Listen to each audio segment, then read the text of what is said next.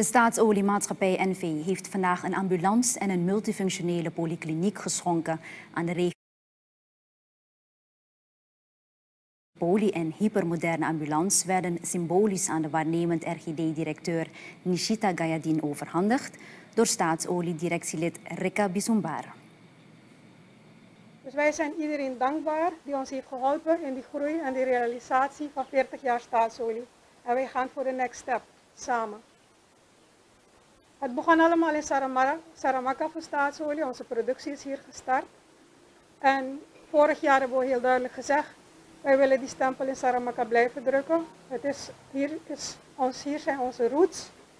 We zijn er trots op en we hopen de gemeenschap ook.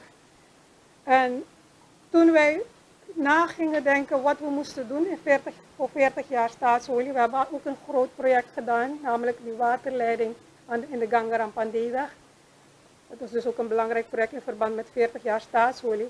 Maar toen we verder dachten, wat kunnen we nog meer doen, was gezondheidszorg voor ons een belangrijke uh, aandachtspunt.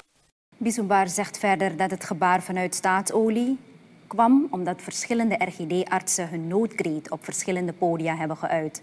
De roep om een betere gezondheidszorg in het district was reden genoeg om niet te arzelen en te werken aan een tegemoetkoming.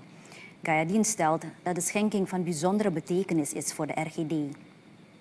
Wij bedanken dus niet alleen namens de bewoners van Saramaka, maar realistisch gezien ook namens andere voorbijgaande personen die gebruik zullen maken van de ambulance. Met de mobiele unit gaat een lang vervulde wens in vervulling. De unit zal niet alleen meerwaarde toegeven aan het verlenen van dienstverlening, maar kostenbesparend aspect zijn, aspect zijn voor de cliënten van Saramaka. De kosten naar Paramaribo zullen hen bespaard blijven. Gayadin zegt dat de leiding van haar organisatie ervan verzekerd is dat verdere groei van de RGD middels de donatie een duw in de rug heeft gekregen. De gift is een teken dat veel bereikt kan worden door samenwerkingen, ondanks de moeilijke situatie in het land.